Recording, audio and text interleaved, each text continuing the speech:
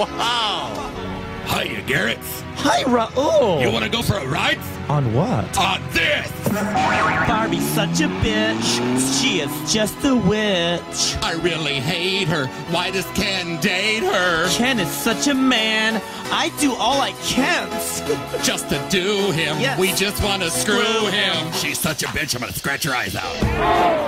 I have dreamed about Ken being inside my den, and we hold and we kiss like we're sweethearts. But that Barbie's a slut with her cute little butt. And I guess Ken like boobs made of fake parts. And I cry every day, cause straight up that bitch is in my way. Ooh, Barbie is a bitch. She is just a witch. I really hate her. Why does Ken date her? Ken is such a man. I do all I can. Just to do him. We want to screw him. When I see her, I will knee her. Ooh, ooh, ooh. I will punch her and I'll crunch her. Oh, oh yes.